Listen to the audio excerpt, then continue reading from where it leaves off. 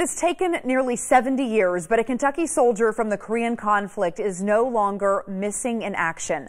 Last week, Mary Bolin found out that her brother, James Elmore, has been identified after DNA testing matched remains that were recently discovered.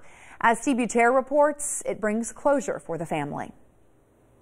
I mean, it's been a long time coming. 68 years to be exact. My brother's come home. Since Albany, Kentucky native Mary Bolin last heard from her brother Joe Elmore, and she never knew she would ever come in contact with him again, even after his death in 1950 in the Korean War.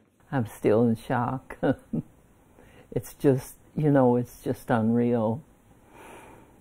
But I'm so thankful.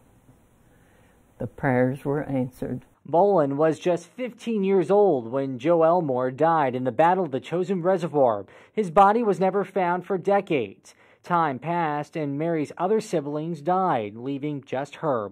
About 20 years ago, Bolin and her sister supplied DNA samples to the military, hoping someday it would be key to identifying Elmore's remains. Just 20, he was gone, but we still hoped.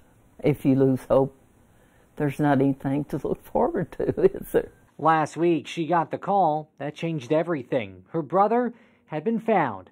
Bolin says her story proves to hold on to hope, especially for the thousands of families who still wait for their loved ones killed in battle to come home. I can't sleep good knowing that he'll be buried down there at the little cemetery where mom, dad, and my brothers and my sisters buried. This is something she didn't know she would ever be able to do.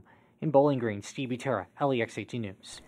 Family says a full military funeral will be either this week or next in Clinton County.